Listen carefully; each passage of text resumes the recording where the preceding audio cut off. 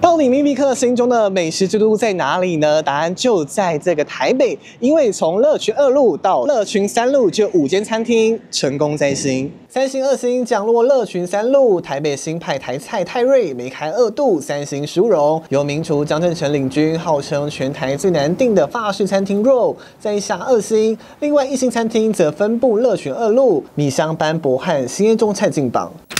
而不只是大直，地图放大一看，中山区几乎都是秘密客的爱店，十六家进榜，成为全台密度最高的行政区。另外，大安区八家紧追其后。至于松山区名列第三，有六家受到青睐。专家解释，中山北路一带观光客较多，高端餐饮业发展较早，加上乐群二路和三路周边有大直豪宅住户和内科高级豪客消费支撑，才让升级餐厅屹立不摇。只是几家欢乐几家愁，今年一共五家落榜，创下史上最惨。其中蝉联六度米其林一星的教父牛排也难掩失落。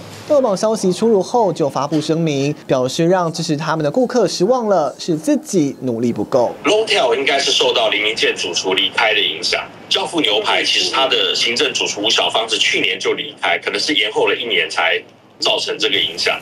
那野村寿司部分，现在这个评审其实这两年选的大部分都是法餐，对日料看起来就没有那么偏爱。除此之外，去年获得二星和一星的高雄 Liberty 和台北的 Hold 都是因为歇业才被移出榜单。因此，即使餐厅成功摘星，有了蜜月期，但还是要靠后续经营才能走得长久。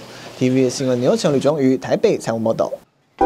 想看最完整的新闻内容，记得下载 TVBS 新闻网 APP。